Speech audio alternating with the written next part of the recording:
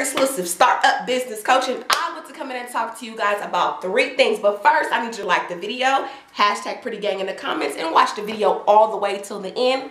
Let's get into it. So the first thing that a lot of us do and the reason why we don't start our business is that we're waiting on some passion right do not get me wrong. I'm all for passion. Love passion. Passion's awesome. However, there are some passions that may not bring you any money. And what I promote here on the Pretty Chicks Invest channel is you need to turn your skills into dollar bills. So every skill that you have may not be a passion. However, it's a skill that people will pay you for. So what I need you to do is number one, write down 10 things you know how to do very well. 10 skills you know how to do very well and research them and, and rank them from highest to lowest of what people will pay you for, okay?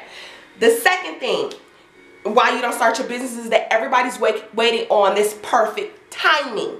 I'm waiting on this perfect time, this moment, this, this, this, this magnificent time that's gonna come out of somewhere. It's gonna be the right time for me to do this. Newsflash, there is no right time to do anything. My best suggestion for you and my tip for you is start now. Doesn't matter, start now. How many times have you seen something and you're like, I thought of that before?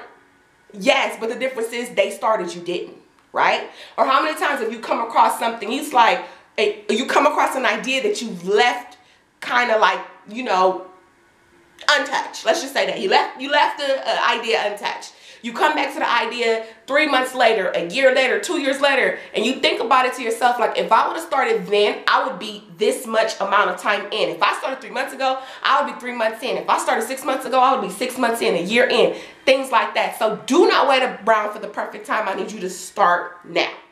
A lot of people wait, right, for to not start their business is you're waiting for the perfect setup right? I need the perfect logo. I need the perfect name. I need the perfect, uh, you know, computer. I need the perfect, you, you're waiting around for perfection and everybody knows perfection does not really exist. Okay. So I need you to, to will that in right? We're not going to worry about perfection. We're not going to sit around and wait for some perfect time. We're not going to wait around for passion. We need to start to do something because you need to turn those skills into dollar bills and get this money okay? So for those of you guys who do not know again my name is Jen your exclusive startup business coach.